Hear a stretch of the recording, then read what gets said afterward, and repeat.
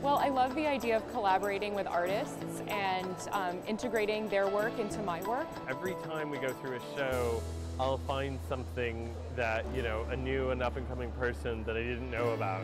So much of what makes a space actually feel comfortable, homey, whether it's a hospitality space or a residential space, are the handmade elements. American Craft Council, there's so many talented artists and I think it's great to have an opportunity to use their product in a more in a room setting and really showcase, you know, their beautiful creation.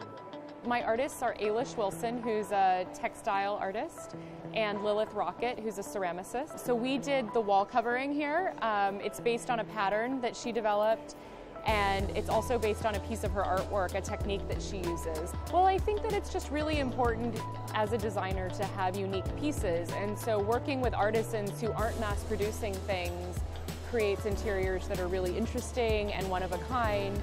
We have two artists. We have Lilith Rocket, who does really amazing uh, ceramic pieces, which really spoke to me.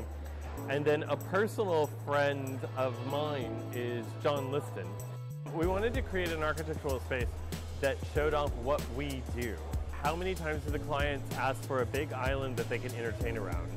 They're not really perched around a table eating meals or sipping cocktails. We just felt like that was what we needed to show. We are working with Shelly Martin and she's a vitrified studio and so she's based out of Portland and she hand throws all of her pieces. I wanted her pieces to be kind of focal point, front and center. The orange became our accent color and she sent me the samples and the orange just stood out. It was amazing. Well, I used the um, beautiful design created by Kathy Cole and also Emily. And I think um, both of their product, I found that it's really organic and it's really interesting use of material. And so from there, I kind of inspire me in drawing the whole California landscape and how it's being layered in a room. That's why I have all these uh, screens that mimic the uh, patterns, kind of mimic uh, Kathy Cole creation. I worked with Victor DiNovi. Um, he carves these beautiful organic pieces of furniture out of wood. I don't know where it came from, just kind of out of the blue. I, I had this idea of it being like a mirror mirror on the wall, and I thought about the, um, the evil queen in the fairy tale Snow White. I wanted to create a, a neutral, kind of a, a neutral environment that their pieces would kind of pop against.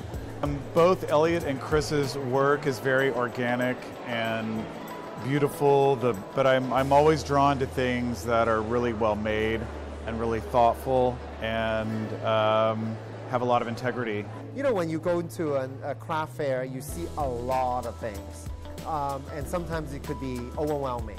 And I think it's, you know, as a designer, I like to edit them. I like to distill them down to the really, you know, the most beautiful and the essence of their creation. There's some fabulous stuff. I've already got my eye on a couple booths that were setting up yesterday that I need to go back to for sure. There's some amazing furniture in there. There's some really, there's a couple, there's a leather and wood chair that might disappear tonight. And I don't know anything about that. So